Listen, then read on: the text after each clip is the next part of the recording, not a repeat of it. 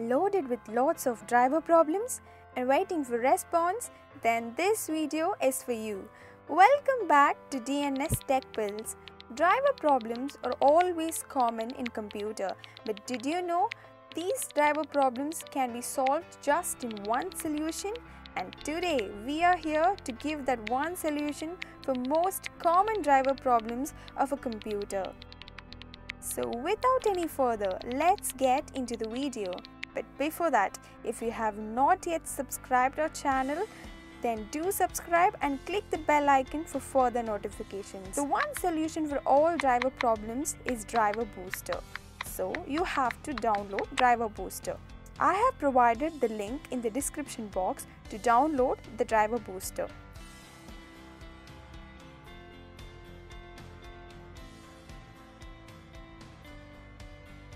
You will have to download and extract this software.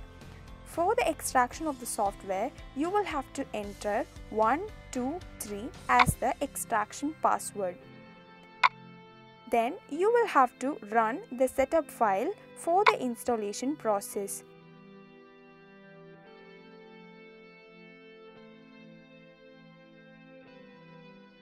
Once the software is installed, you will be verified as a free version of the driver booster where the driver booster is not yet licensed. So now let's get it licensed. For that you have to click the crack file which is near to the setup file.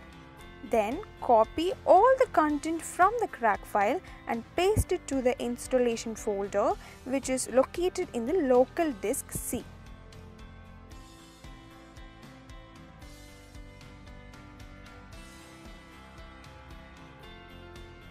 crack file and select Run as the administrator. As you open the application, the application will be turned as a pro version which you can get access to all the tools where you can troubleshoot all your driver problems. Now, by clicking to scan, the Driver Booster Pro will automatically install your missing drivers. Now, all the driver problems will be solved using the driver booster. If you find this video is useful, then please do share among your friends who needs to know this solution for the driver problems.